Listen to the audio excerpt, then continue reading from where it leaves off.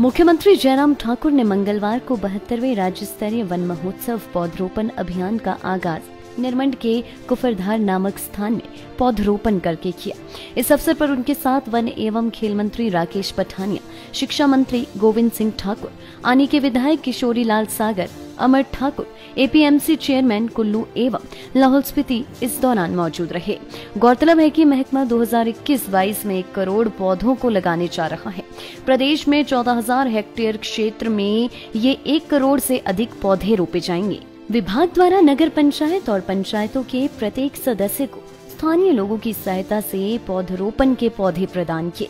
इस वर्ष 20 व 21 जुलाई को दो दिवसीय बृहद पौधरोपण अभियान आयोजित किया जाएगा जिसमें समाज के विभिन्न वर्गों और संस्थाओं द्वारा 11 लाख पौधे रोपे जाएँगे। इस अवसर पर मुख्यमंत्री ने निर्माण में कई योजनाओं का लोकार्पण एवं शिलान्यास किया और निर्माण के लिए विशेष तौर पर एसडीएम कार्यालय का तोहफा दिया। और प्रदेश में किस प्रकार से ये ड्राइव चलाया जा रहा है? और मुझे इस बात की प्रसन्नता है कि आज आनी विधानसभा क्षेत्र से हम राज्य स्तरीय वन महोत्सव का इस कार्यक्रम की शुरुआत के साथ एक अभियान के रूप में एक बड़ा टारगेट अचीव करने की दिशा में आगे बढ़ रहे हैं।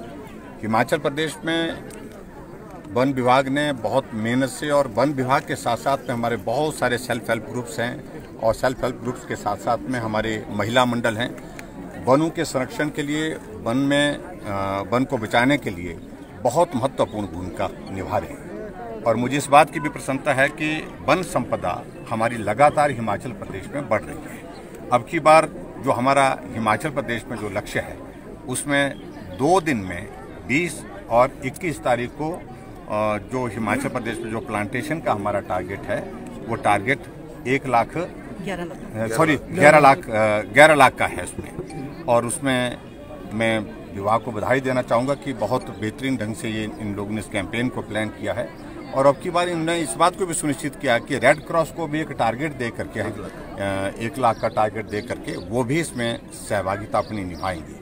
और दूसरी बात एक और चीज़ को लेकर के जो हमने जो बातचीत की है और उसमें उसको लेकर के विभाग आगे बढ़ करके काम कर रहे हैं क्योंकि हिमाचल प्रदेश में अब की बार आ, हमारा स्टेटहुड का जो पचास साल पूरा आ, हुए हैं इक्यावनवें वर्ग चले हैं और जो जितने भी वार्ड्स हैं हिमाचल प्रदेश में पंचायतों के वार्ड्स हैं हर एक पंचायत में 51 51 प्लांट्स का हर वार्ड में हर वार्ड में देने का हमने निर्णय किया है। वो जहाँ प्लांटेशन वो वार्ड मेंबर अपने पंचायत के चुने हुए प्रतिनिधियों के साथ साथ लगाएँगे आठ हज़ार सात सौ वार्ड जो हिमाचल प्रदेश में है ये अलग तरह की एक शुरुआत हिमाचल प्रदेश में की है। मैं सभी प्रदेश की जनता से भी आग्रह करूँगा और उसके साथ साथ विभाग तो इस काम को कर ही रहा है।